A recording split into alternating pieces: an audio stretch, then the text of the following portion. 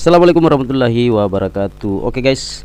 Hari ini kita menjemput hasil tangkapan nelayan ya guys ya. Seperti inilah cara menjemput hasil tangkapan nelayan. Kita menjemputnya memakai motor ya guys. Yang kalian lihat itu di depan adalah tulang ikan tuna yang sudah difilet ya guys. Karena mereka di laut itu begitu dapat ikan Dia langsung filet Nah seperti itu guys.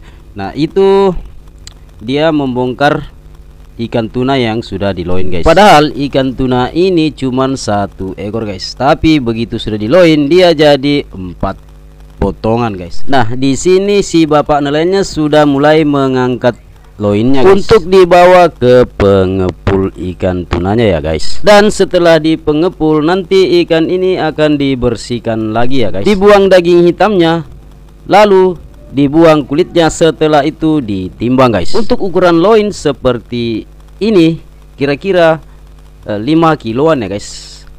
Kalau gelondongannya atau utuh itu berkisaran sekitar 50 kiloan. Ikan loin seperti ini kalau dikirim ke Jepang biasanya dimakan mentah guys. Nah namanya ikan sashimi. Kalau ikan tuna yang grade A dimakan mentah rasanya manis guys dan tidak amis. Nah siapa nih yang belum pernah makan ikan tuna mentah? Komen ya guys